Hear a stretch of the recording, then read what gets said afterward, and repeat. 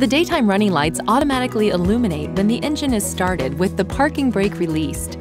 The daytime running lights operate with the headlight switch in the off position. Turn the headlight switch to this position for full illumination when driving at night. If the parking brake is applied before the engine is started, the daytime running lights do not illuminate. The daytime running lights illuminate once the parking brake is released.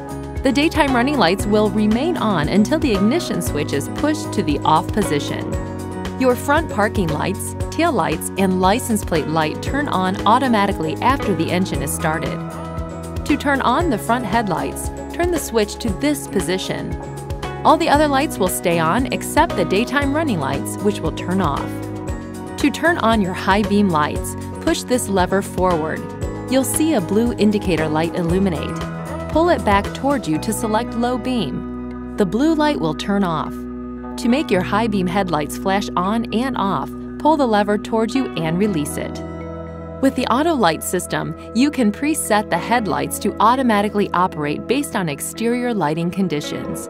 To activate this system, simply turn the headlight switch to the auto position, then turn on the ignition. To turn the system off, turn the headlight switch to any other setting.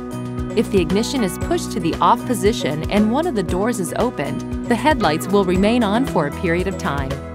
There is a light sensor that controls the auto light system on the top of the instrument panel. Keep that area clear of papers and other material.